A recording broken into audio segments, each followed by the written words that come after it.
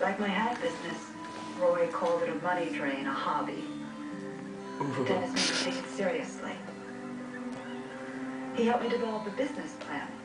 Ding he ding ding. books. Organized your book. Look at the one like Cleo, beating everyone up.